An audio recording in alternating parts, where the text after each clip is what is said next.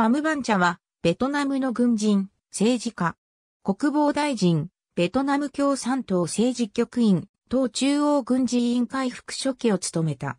最終階級は大将。人民武装力量英雄。1935年、爆任省クエボー県フーラン社に生まれ、1953年にベトナム人民軍に入隊。ベトナム戦争末の1973年、第9軍区司令官レドックアイン大佐の下で、第一連隊長に任命。1975年12月から1977年、第9軍区第4師団参謀長、その後第330師団師団長兼参謀長を務めた。1978年9月、高級軍事学院に入学。1980年8月、第330師団長に復職し、カンボジアでクメール・ルージュ軍と戦った。1983年3月、979、戦線副司令官。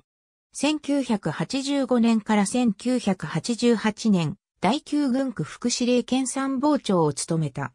1988年6月、第3軍区副司令に任命。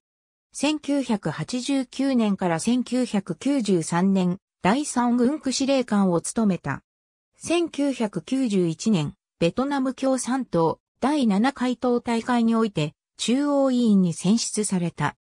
1993年12月、副総参謀長に任命。1995年12月より国防次官兼ベトナム人民軍総参謀長を務め、中将に昇進した。1996年第8回党大会において中央委員及び政治局員に選出され、党内序列第11位となる。1997年12月、ドアンクエ大将の退任により、公認の国防大臣に任命された。1999年、上昇に任命。2001年、第9回党大会において、政治局員に再選出。2003年、大将に昇格。第9、10、11期国会議員。2006年6月28日、国会において国防大臣の職を解任された。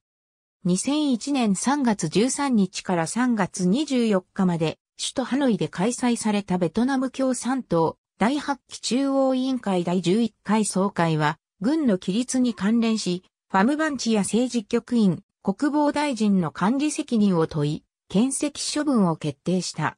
ありがとうございます。